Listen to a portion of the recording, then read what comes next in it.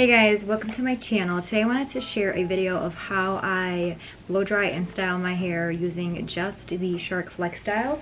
I've had the Shark Flex Style since November of last year and I didn't really start using it until I got tape in extensions because I feel like for shorter, fine thin hair, it's not really worth the price tag. I got on sale for like 250 but it retails for 299 and they did come out with like a newer color with more attachments. It was actually on sale during Prime Day for 299 the newer one with more attachments. And I feel like they will continue to keep coming out with new attachments, which is really nice. The main reason why I got it was for the curling barrels. It's very similar to the Dyson. I've never used the Dyson, but I have friends that have it and love it.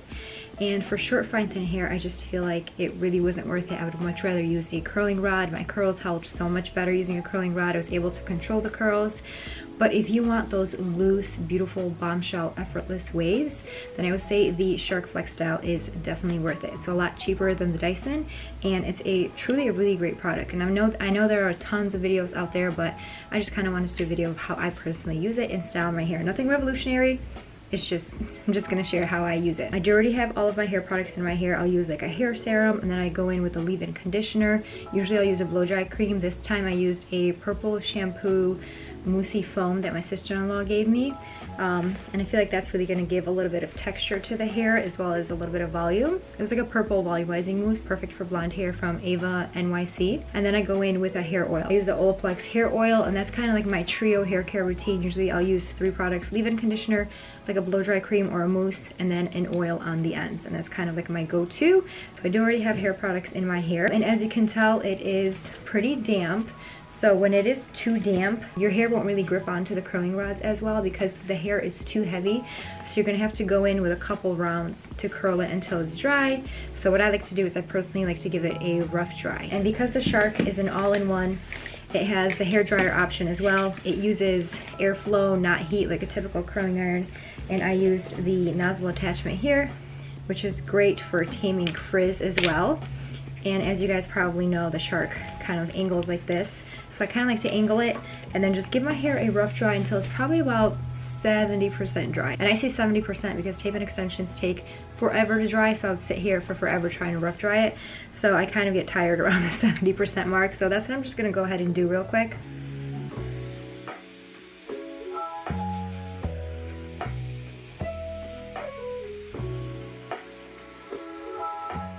Okay, went ahead and gave it a rough dry. Again, it's probably about 70% dry. It's still pretty heavy and wet, so I'm gonna have to go in a couple times when I'm going in and curling it. If you want, you can dry it 90%. I feel like it would be a lot easier.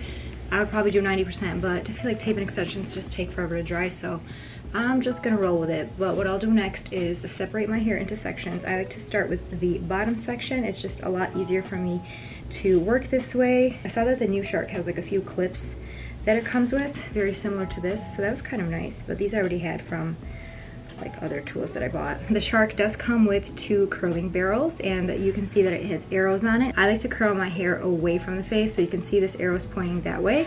So this half of the hair up until the halfway point, I curl away from my face this way. And then this half of my hair from the halfway point, I curl away from my face that way. I don't know if that makes sense. Hopefully that makes sense. So to make it easier, I place this curling barrel on this side and this one on this side. So when it came, comes time to like swap them out, it's just easier for me to work and remember that way. Just like a little tip that I do. But I'm gonna start off with this side of the hair and I'll take a little section. You don't want your section to be too thick. So you want to grab like a pretty decent section. If it's too thick, it's gonna, you know, be a little bit heavier, might not get the curl that you want. You kind of like figure it out as you go. And I like to keep it on the medium heat setting because the Shark does get extremely hot. I mean to the point where there's like steam coming out of your hair. For some people's hair types, that might be what they're looking for. They really need that higher heat. For my fine thin hair, I do not, especially for extensions. So I like to use it on the medium heat setting and then I'll use it on like full blast in terms of airflow. I also wanted to mention that I do not use the cool shot setting. I know some people will like go in with the cool shot setting. It does have a cool shot and then let the curl cool off. I feel like it just takes so much more time this way. So I just don't do it. I just turn it off and then let the curl go and that's it.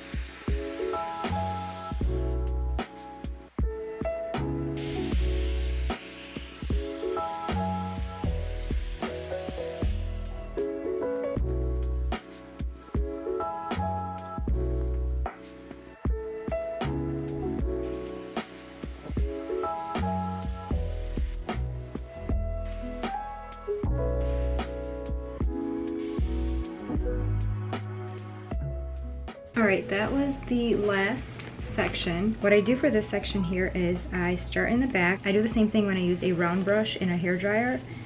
Kind of like brush it out and using the curling rod attachment here, I'll go in and curl all these sections away from the face. Section by section by section until I get all the way to the front.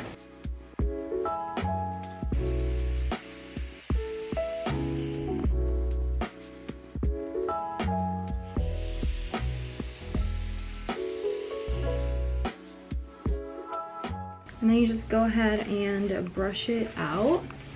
So go ahead and gently do that. And that is essentially all that I do. I love how it looks when I initially just blow dry it. Eventually my hair, especially these pieces here, do kind of like fall a lot more flat. The curls do loosen up a little bit, but hair extensions hold curl very well and I don't really have to worry about curling my hair for like another day or two.